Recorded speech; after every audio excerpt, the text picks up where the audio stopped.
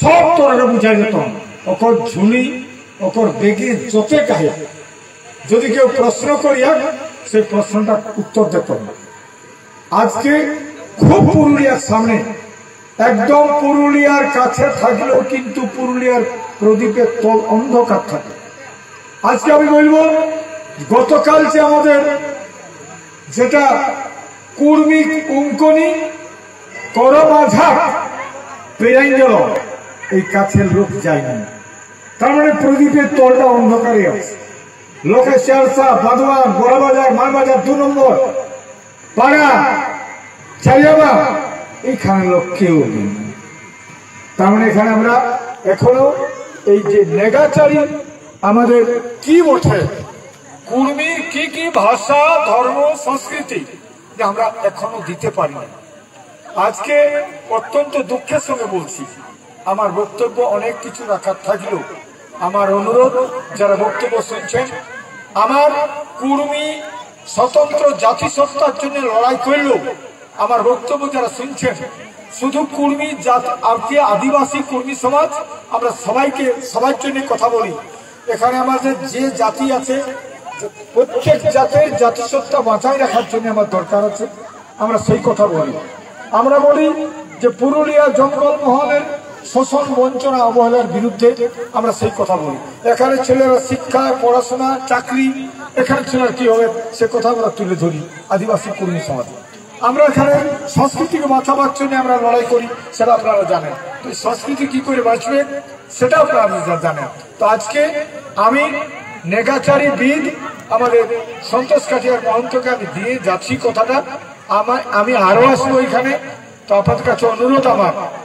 আজ এইখানে যারা ইয়াং ছেলেরা ছেলে বাচ্চারা আর মেয়ে ছেলেরা যারা আছেন বেটা ছেলেরা যারা আছেন, তাদের কাছে একটা অনুরোধ। আমাদের এই জাতিসত্তাকে বাঁচাতে গেলে প্রথম কুরবানি ভাষা শিখতেই হবে, কারণ একটা জাতির ভাষা হচ্ছে তার পরিচয়। তো আমার ভাষা আমি বলতে পারছি না। আজকে আমার ভাষা খতম হতে চলেছে। এই আমার ভাষা, আমার ধর্ম। আমার সংস্কৃতি। এই যে সংস্কৃতি কোনটা, আমার আমার ধর্ম কোনটা, আমার পূজা পাশা কোনটা, লোকের পূজা পাশাটা গ্রহণ করেছি, নিজের টাকা ছাড়ে দিচ্ছি মনে রাখবেন, যারা বক্তব্য শুনছেন, যেদিন হিন্দু, মুসলমান, খ্রিস্টান কেউ ছিল বেদ পুরন বেশি দিনের জন্ম নয়, এক হাজার বছরও হয় নাই। আজকে এই যে খ্রিস্টান, খ্রিস্ট ধর্ম দু হাজার চব্বিশ বছর মুসলমান ধর্ম, ইসলাম ধর্ম, ছশো সত্তর খ্রিস্টাব্দে জন্ম হয়েছে আমাদের। ইসলাম ধর্মের, অর্থাৎ হজরত মোহাম্মদের। তো তাহলে বেশি দিন নাই। আর এইখানে আমরা বসবাস করছি দশ হাজার বছর। পৃথিবীতে এই কুর্মী জাত আরও কিছু জাত আছে মূলবাসী, তারা প্রথম কৃষি, অর্থাৎ চাষ করতে শিখাচ্ছে তো চাষ করতে শিখাচ্ছে এই জন্যই এই যে চাষ করতে প্রথম শিখেছে, এই জন্য এখনও শস্য দানা, শস্য বীজ, বিড়ি, কলা, জোনার এইগুলা দিয়ে আমরা করম যাওয়া এই সেই যাওয়াটাকে কীভাবে মানতে হয়, সেটা আমরা মানি চলি।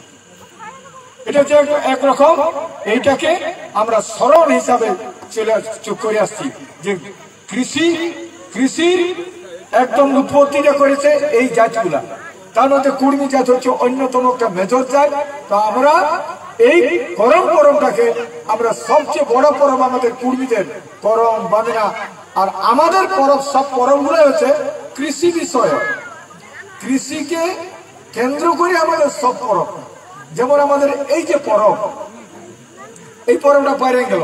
পরবটাই পরিষ্কার কথা যে চাষবাসের উপর।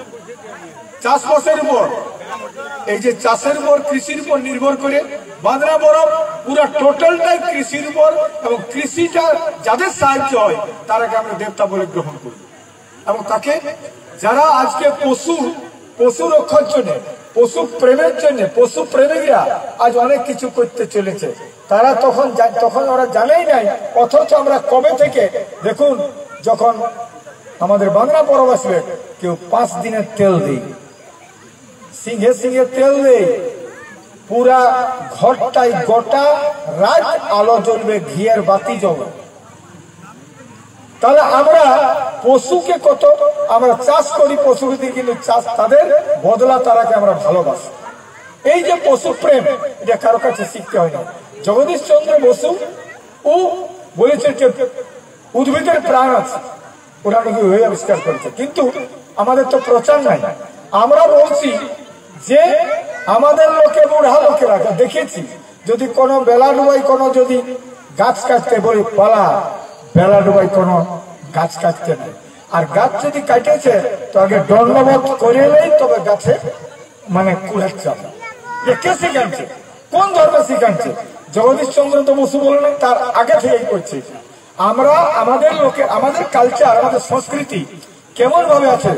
আজকে বলছি এই যে বিদ্যাসাগর মহাত্মা রামমোহন, বিধবা বিবাহ প্রচলন করেছে। না, উহাদের জাতে ষোলো বছর বয়সে যদি কোনো বেটি ছিল বিধবা বিধবা হলো ও বিহা করতে পারত না। এই যে বিবাহ বন্ধ ছিল, ওটা দেখল কোথায়? যে আমাদের কিন্তু সমাজ ব্যবস্থায় বউ দাদা মরে গেল, বৌজিকে কিন্তু দেওয়ারে রাখিয়ে নিল সাঙ্ঘা করল।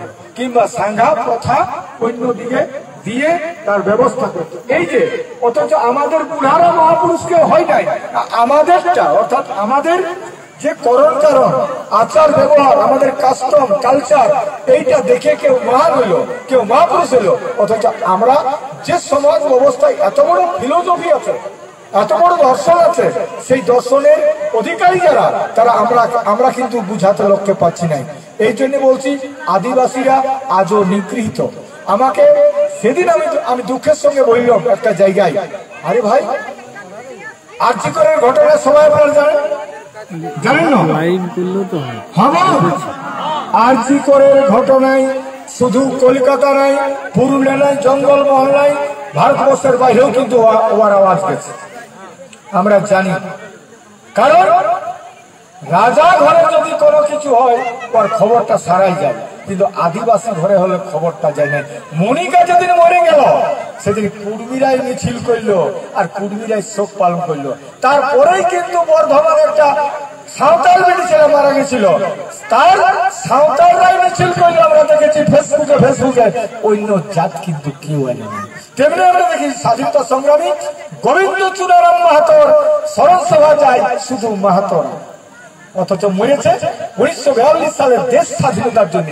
আরে দেশ স্বাধীনতার বড় বড় শহীদ? আত্মতার কিছু নাই। কিন্তু দেশ শহীদের যারা শহীদ হয়ে গেছে, সেটা আজও কিন্তু যারা উচ্চ পরিণীরা সকল হায়ার ক্লাসের মানুষ, আজও পর্যন্ত এটা মানে নিতে পারে নাই। তাই আদিবাসীরা আজও বঞ্চিত। আজও বঞ্চিত, শুধু বলছি না সারা ভারতবর্ষে কিন্তু আদিবাসীদের আদিবাসীরাকে মানিয়ে নিতে পারে নাই সকল হায়ার ক্লাসের মানুষরা। উচ্চ বর্ণীয়রা আজও মানতে পারে নাই, আমরা সবাই জানি। সবাই জানি। তো সেই সেটা বলছিলাম, উনিশশো বিয়াল্লিশ সালে গোবিন্দ চুনারাম মূল্য তার সঙ্গে মারিছিল, মরেছিল। মাতঙ্গিনী হাজরার গুলি হয়েছিল। মাতঙ্গিনী হাজরার কলকাতা, মেদিনীপুর গোটাই ওদের মূর্তি আছে, আর গোবিন্দ চুনারামের হাই হাই একটা বেদিও ছিল নাই। ভাগ্যে আমি সেবার রথ ঘুরেছিলি ওই সেই বছরটাই রথটা হওয়ার জন্য, আর আমি মাল্যদান করতেছিলি তিরিশে সেপ্টেম্বর, আর সেই সময় মাননীয় সুজয় ব্যানার্জি আর আমাদের এখানে ছিল মন্ত্রী। ওর যাতে ছিল তখন আমাকে দেখে দাঁড়াইলো। আমার সঙ্গে পরিচয় আছে। পাইরাতে পাইলো না, তখন মাইল্য দান মাইল্য দান করল তখন বলল দাদা ইয়ার মূর্তি বানাবো তাহলে চিন্তা করুন আমি যা বলছি, ও অবদানটা অস্বীকার করছি না। কিন্তু এখনও এখনও সিধু কানুর মিছিল হয় স্মরণ সভা হয় সাঁওতালরা মানে আদিবাসীরা মানে বিরসা সরসভা কে করে? মানে মুন্ডারা করে। আজও কর্মীদের নেতা শীতল সহদেব বকুল গণেশ মোহন মাহাতো মারা গেছে। আমরাই কিন্তু বলি। কেন? এই যে সবাই জানি আমরা। বাপ মরেছে তো কে খাটো তার ছেলে আমরা বুঝে মানিয়ে নিয়েছি। কিন্তু আজকে তেমনি উচ্চ বর্ণদের ঘরের কেউ যদি মারা যায়, তার ঘরে যদি কোনো কিছু বাধা আসে অতিক্রম করতে হয়, তার জন্য সবাই কিন্তু সেখানে যায়। আমাদের আজও আদিবাসীরা বঞ্চিত। আজকে আজকে বঞ্চিত শিকার, আজকে রাজনীতির শিকার। তাই আমি বলব, আগামী দিনে এই কুর্মী জাতকে ঐক্যবদ্ধ করার জন্য চেষ্টা করছি এবং কুর্মী জাত এসটি ছিল। নতুন কিছু করছি নাই।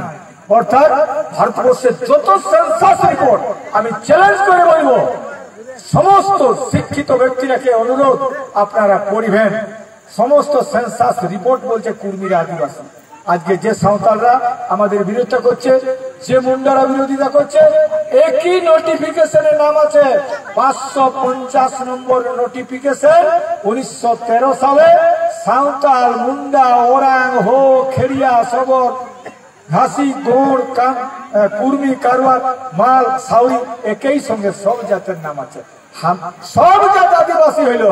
কুর্মীরা আজও পর্যন্ত পাইল না আমার সেই লড়াই।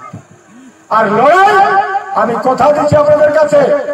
যে যুব সমাজ আচরে বছরে পড়াশোনা করছ, আর মা বোনরাকেও বলব, আপনারা তৈরি থাকুন।